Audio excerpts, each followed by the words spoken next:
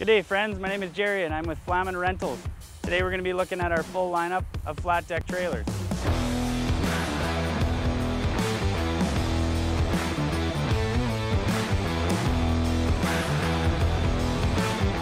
Flaman likes to support local when purchasing the rental fleet. The trailers we're going to be looking at today are manufactured by Trailtech. First model we're going to have a look at is our 12 foot tilt. The 12 foot tilt is equipped with a single 3,500 pound axle.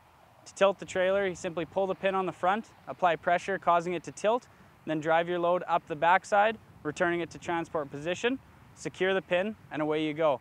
This trailer is ideal for anyone looking to haul a golf cart, a UTV, ATV, a riding lawnmower, they require a 2 and 5 16 ball and is towable with as little as an SUV. Next, we're going to be having a look at our L270 16 foot model.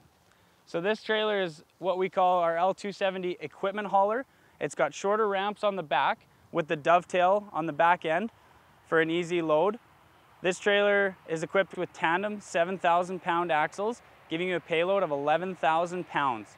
This trailer is ideal for anyone looking to move a skid steer, a small backhoe, or even a small tractor.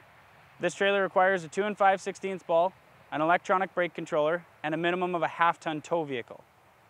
Next we're going to move into our L270 18 foot.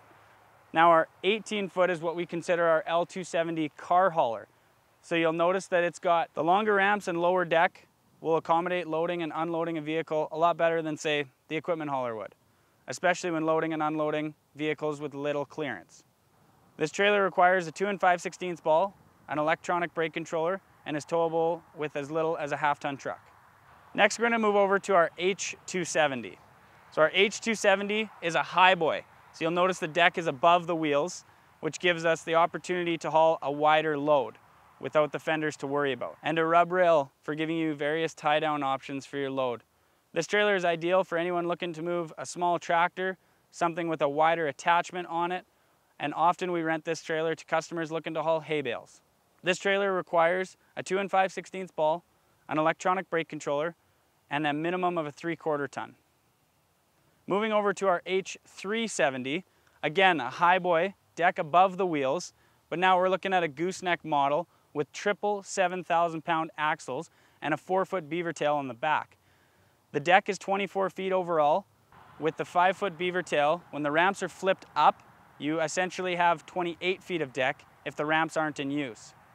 This trailer is equipped with triple 7,000 pound axles, giving you a payload of up to 15,000 pounds. This trailer also has the opportunity to be hauled with either a fifth wheel attachment or the gooseneck coupler option.